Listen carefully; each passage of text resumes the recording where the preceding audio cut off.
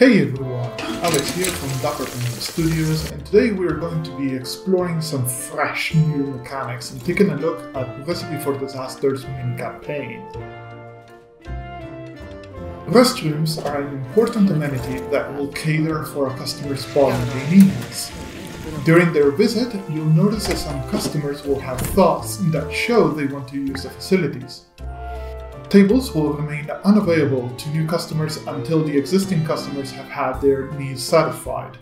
Restroom objects will also become unusable if you let them get too dirty through overuse.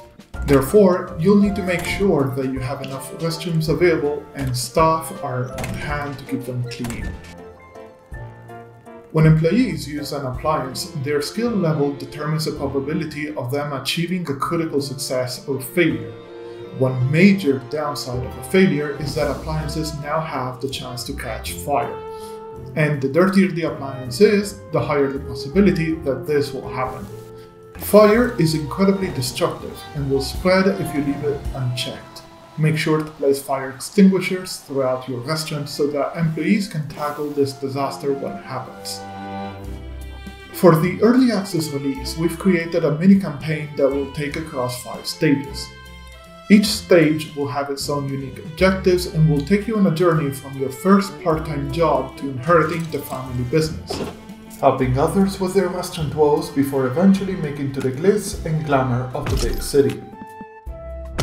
Of course, many more levels will be added during early access.